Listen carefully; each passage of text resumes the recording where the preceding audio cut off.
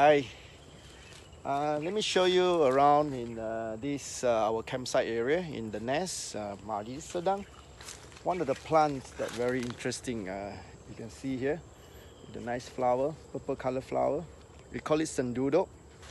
Uh, basically, this plant works very well, uh, especially when you got a wound cut or leech bite. You know the blood is coming out, and you squeeze, take the leaf, squeeze, get some juice out. Okay, and put into your wound there, it will clog your blood. Very useful. Thank you.